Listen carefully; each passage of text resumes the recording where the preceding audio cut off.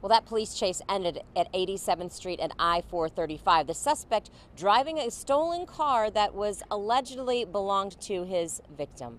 According to sources, after meeting a nine year old man talked his victim into coming to Kansas City for a date. When the two met up Friday, he took her car at gunpoint, kidnapping her. The suspect took the victim to a wooded area behind the old Smith Hale Middle School off of Longview Road, handcuffing her to a tree, tying up her arms and legs, and covering her head.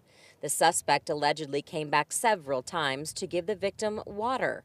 Eventually, someone heard the victim screaming for help and called police. The suspect already spent time in prison for the same sort of thing.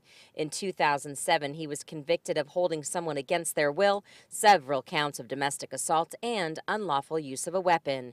At that time, court documents state he tried to get his victim to lie about the incident in two letters to her from jail. Say this was a mistake and that you were angry. Tell them that you had an anxiety attack. Telling the victim to make an excuse for the bruises and say that you were pressured to say things. Although the suspect is already a convicted felon, we are not naming him for this story because he has not yet been charged with that kidnapping or carjacking. But we will continue to follow the story and bring you more when that suspect is charged. We are expecting charges tomorrow. Shannon O'Brien, Fox 4 News.